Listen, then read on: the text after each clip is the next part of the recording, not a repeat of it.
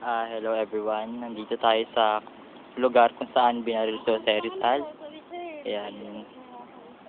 Papakita ko po sa inyo. Yep. Ayan. Ito po si Jose Rizal. Ayan. Ayan po yung mga bumaril kay Jose Rizal. Ayan. Kung tutuusin po, ito pong lugar na to inayos lang po. Pero kung sa kung tutuusin, itong lugar na to isang malawak. Malawak siya. Ayan. So, papakita ko sa inyo yung mga nangyari kay parang storya lang naman siya eh. Pero ito yung mga estatwa na kung saan kinunan lahat ng pangyayari.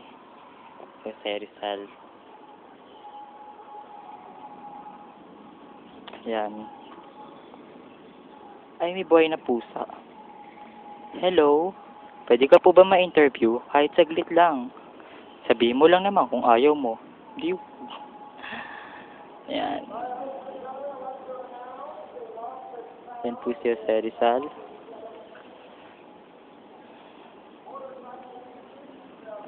Ang ina ni Jose Rizal.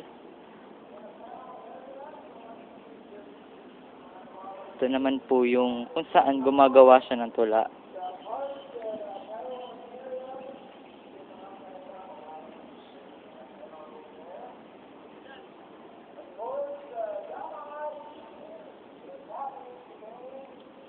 Yan, dito po tayo. Pasok po tayo sa loob. Mga pinangyarihan ni Jose Rizal. Where yan. Yan, so, stay tuned there.